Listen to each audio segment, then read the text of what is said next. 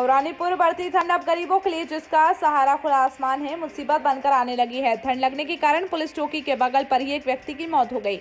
जानकारी के अनुसार शुक्रवार को अंबेडकर पुलिस चौकी के निकट एक व्यक्ति का शव मिलने से हड़कम मच गया। मृतक वहीं चौराहे पर भीख मांगकर आसपास खाना खाकर अपना भरण पोषण करता था। जिसका शव शुक्रवार को मौरानीपुर के अंबेडकर चौराहे के पास पुलिस चौकी के बगल में शौचालय बने हुए के पास में मिला। घटना की सूचना मिलते ही मौके पर पहुँची कोतवाली पुलिस ने शव को कब्जे में लेकर कार्यवाही शुरू कर दी है। सर आपके यहाँ चौकी के बगल पे एक व्यक्ति की लाश मिली है। कितने समय की घटना है ये? मैं आठ बजे ड्यूटी पर आया।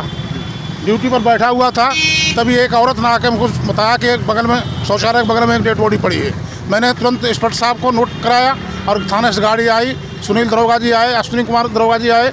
आकर के यहाँ डेड बॉडी को रख के लोडर में और वहाँ ले गए मोर्चरी को। किस स्थिति में पड़ी थी वो बॉडी? किस वजह से हुई? जानकारी?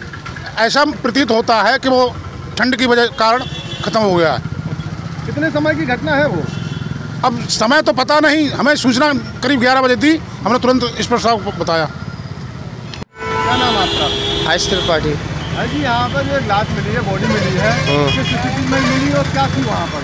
मैं सुबह यहाँ पे आया था बाथरूम करने के लिए तो यहाँ पे मैंने अज्ञात व्यक्ति को मरा हुआ पाया गया जो कि ये देखा गया था पहले चेक करवाया था।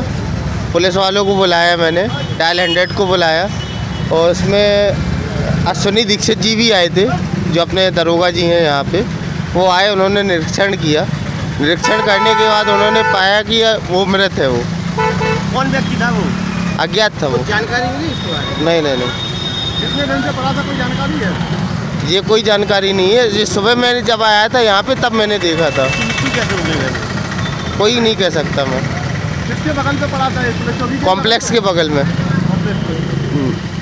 उठा ले गए वो? क्या नाम दादा आपका? हमारा नाम गणेश प्रसाद। गणेश प्रसाद जी जो आपकी दुकान के सामने आज यहाँ पे एक व्यक्ति की लाश मिली है हाँ। में रही? क्या क्या, क्या था वहाँ पर? वहाँ तो तीन चार दिन से डला था वो बीमार था। मतलब बीमार मान लो या ठंड लग गई होगी। तो उसको पुलिस उठा ले गई है। कौन व्यक्ति था वो? अब जे नहीं जानते मैं नहीं जानता हूँ। मतलब कैसे उसकी मौत हुई है? वो ठंड की वजह से डरी था वहीं पर बस। वहाँ तो पुलिस वालों की ड्यूटी लगती है उन लोगों ने नहीं देखा वहाँ? नहीं उस किसी ने नहीं देखा उसको बस। कितने दिन से पड़ा था वहाँ? और दो तीन दिन से। दो तीन दिन से पड़ा था? हाँ। लेटेस्ट न्यूज़ देखने के लिए प्राइम ब्रेकिंग न्यूज़ चैनल को सब्सक्राइब करना ना भूलें और साथ ही डेली अपडेट्स पाने के लिए बेल आइकन